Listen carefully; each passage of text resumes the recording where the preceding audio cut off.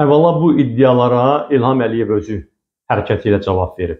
İlham Əliyev özü də inansaydı ki, bu savaşdan sonra onun doğrudan da o yandaşlarının iddia elədiyi kimi ciddi bir reytinqi yaranıbsa, o zaman belə qəfil seçkiyə getməzdi, kütləvi repressiyaları zirvəyə qaldırmazdı, ölkədə hüquq və azadlıqları minimum həddə endirməzdi.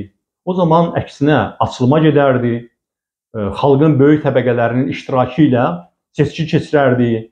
Məsələn, mən xatırlayıram ki, 1998-ci il prezident seçkilərində o zaman Heydər Əliyev Əbülfəz Elçibəyə, İsa Qəmbərə və digər prezidentliyə namizədlərə məktubla müraciət edib onlardan xahiş eləmişdik ki, seçkiyə qatılsınlar. O zaman biz seçkiləri boykot eləmişdik. Heydər Əliyev istəyirdi ki, onlar da qatılsın seçkiyə və onda indi belə bir illüziya var idi ki, müxalifət seçkiyə qatılsa da qalib gələ bilər. Hərçənd ki, sonradan məlum oldu ki, o zamanki Demokratik Konqresin liderləri seçkiyə qatılmasalar da tək Etibar Məmmədova qalib gəlmək belə ona mümkün olmadı. Başqa söhbətin mövzusu. Amma onun bir özgüvəni vardı. İstəyirdi ki, müxalifət qatılsın seçkiyə və o müxalifətin üzərində qələbə qazansın. Özünün o saxta təyin elədiyi adamların yox. İndi İlham Əliyevdə də elə bir özgüvən olsaydı, o əksinə açılıma gedərdi. Demirəm ki, tam demokratik, amma heç olmasa yarım demokratik açılıma gedərdi. Məhbusları azad eləyərdi. Bütün normal ölkələrin hamısında müharibədən sonra nə olur? Amnistiya olur. İnsanlar azad edilir, qiymətlər aşağı salınır, maaşlar qaldırılır. Xalqa hökumət tərəfindən hansısa bir jestlər edilir. Azərbaycanda nə oldu? Tam əksi oldu. Deməli ona görə də birincisi İlham Əliyev özü bu tezi təkzib edir. O özü belə inanmır ki, indi bu savaşdan sonra onun elə bir reytinqi var ki, onunla rəqabət mümkün deyil. İndi isə biz buna cavab verməyə çalışaq. Birincisi Ermənistan üzərində bu Qarabağdakı qondarma qurumun hərbi qruplaşması üzərində əldə olunmuş hərbi zəfərdə İlham Əliyevin şəxsi xidmətləri o təbliğ olunduğunun heç onda biri qədər də deyil. İndi gəlin faktlara baxaq biz. Baxın, deməli, həmin savaşda əsas rolu aparmış iki korpus bizim quruşub. O iki korpusdan birinin komandir müavini Babək Səmidli nə demişdi? O demişdi savaşdan sonra ki, əgər türklər gəlməsəydi, Türkiyədən gələn hərbi məsləhətçiləri nəzərdə tutur. Türklər gəlməsəydi və bayraqlar olmasaydı biz bu savaşı uda bilməyəcəkdik. Baxın ha, bu qədər böyük zənginliklər, silah adı ilə 10 milyardlarla pul xərclənib. Bizim büdcəmiz Ermənistan büdcəsi ilə müqayisə oluna bilməz. Əhali, insan resurslarımız müqayisə oluna bilməz. Amma korpus komandirinin müavini deyir ki, bizim ordumuz elə bərbad gündə idi ki, təb təsvir də edir orada. Deyir ki, e, deməli zirehli gödəkçələr çatışmırdı, rabitə vasitələri çatışmırdı. Adicə deməli e, demək silahlar çox pis vəziyyətdə idi.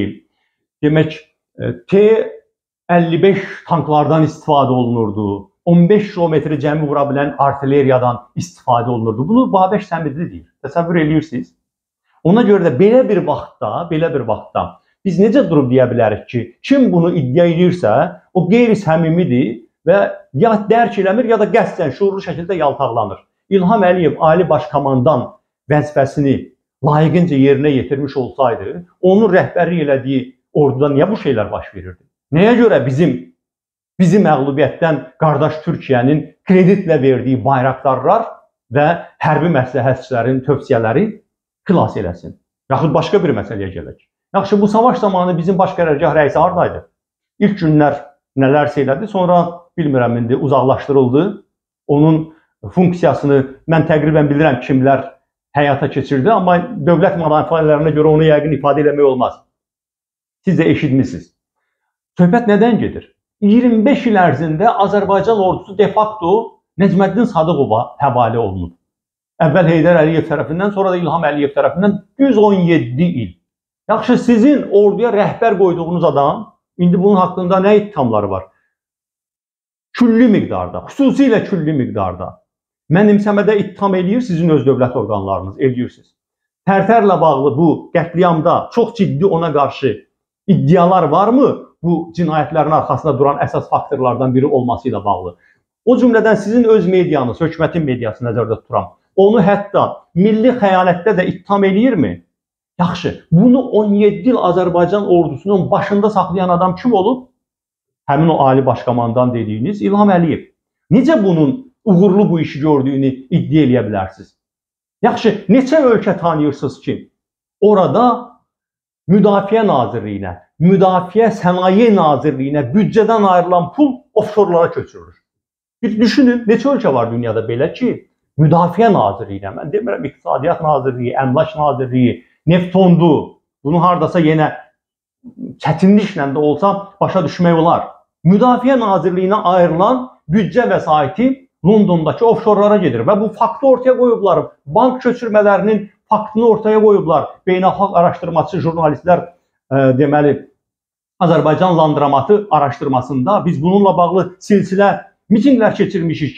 2017-ci ildə o zaman hələ miting keçirmək imkanları var idi. Yaxud neçə ölkə tanıyırsınız ki, onun hakimiyyəti silah, yararsız silah almaqdan atqat almaqda ittiham olunsun. İsraildən Rusiyaya qədər bu ittihamlar var.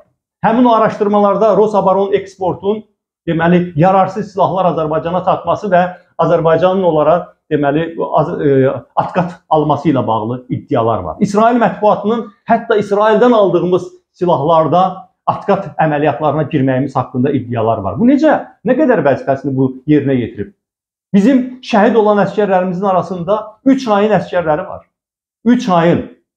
Hətta bütün dünyanın qəddar dediyi haqlı olaraq işğalçı müharibə aparan Rusiya rəhbərliyi belə çağırışçıları Ukrayna savaşına göndərmir.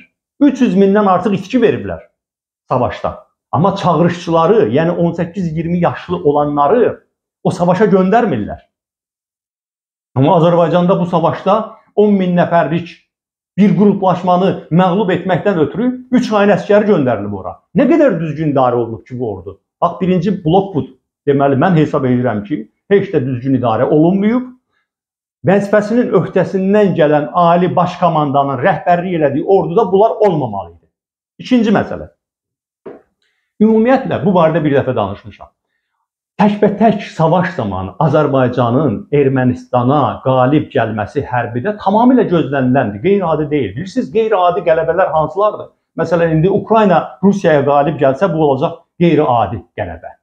Vaxtilə nə bilim Türkiyənin istiqlal savaşında bütün Avropaya qarşı, Birləşmiş Qərbə qarşı vuruşub Türkiyəni xilas edən Atatürkün savaşı qeyri-adi qələbə idi. Amma bizdən 3 dəfə əhalisi az olan, 5 dəfə iqtisadiyyatı zəif olan bir rəqiblə, düşmənlə savaşda bizim qalib gəlməyimiz heç zaman hadisə olmayıb axı. Bizi bu qələbəni indiyə qədər uzadan Rusiyanın rolu olub. Rusiya isə bizim diplomatik səylərə görə oyundan çıxmayıb ki. Paşinyanın hakimiyyətə gəlməsi və qərb yönümlü siyasət aparmasına görə Putin özü Ermənistanı müdafiə etməkdən çəkilib. Amma Rusiya qarışmayanda bizim Ermənistana qalib gəlməyimiz Azərbaycan ordusunun tamam halal haqqıdır. Hələ 2000 2000 yox, 1919-cu ildə Xalq Cümhuriyyəti zamanı bir neçə həftənin ərzində həmin o Qarabağ separatçılarını məğlub etmişdi Xalq Cümhuriyyətinin ordusu. Siz ona görə hansısa bir belə deyək, ali baş komandanın şəninə, hansısa generalın şəninə romanlar yazıldığını, dastanlar qoşulduğunu görmüsüz? Bu tamamilə təbii hesab olunub ki, biz güclüyük və torpaqlarımızı getdik aldıq. Həmin o bir çoxunuzun tənqidlə yanaşdığı 1992-ci ildə ordunun yaranmasından cəmi 6 ay keçmişdi. Ordunun xeyli hissəsi könüllülər idi. Biz Ağdərəni azad edib Xankəndinin bir neçə kilometrliyinə gəlib çatmamışdığımı, Rusiya işə qoşulmasaydı, bir neçə ayın məsələsi deyildimi Qarabağın təmizlənməsi separatçılardan həmin zaman?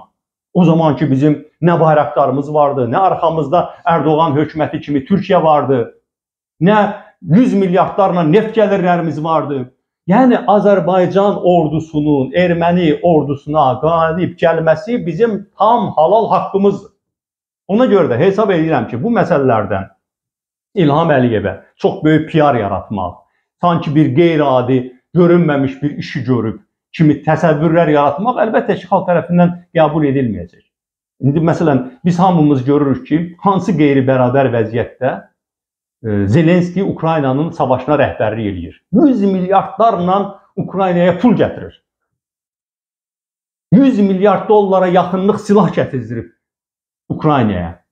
Dünyanın bütün parlamentlərində gedib çıxış edib ayaq üstə alqışlayıblar. İndi məsələn İlham Əliyev belə şeylər eləsəydi onda nə edərdilər ki? Bunların heç biri olmayıb ki. Bunların heç biri olmayıb və o cümlədən hərbi əməliyyatlara birbaşa onun rəhbəri, rəhbərlik eləmək imkanları da yoxdur. Hərbidən uzaq adamdır.